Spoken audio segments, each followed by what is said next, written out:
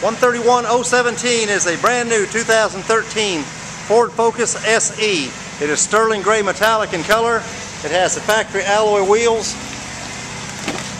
It's got the black leather interior with bucket seats and console.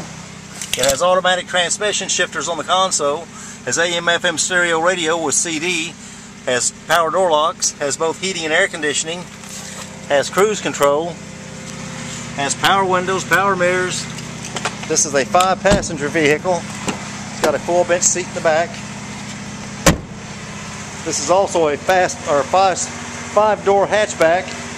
You can see this vehicle in all of our inventory at mhford.com or come out and see us in person at the big corner of 119th and Kellogg.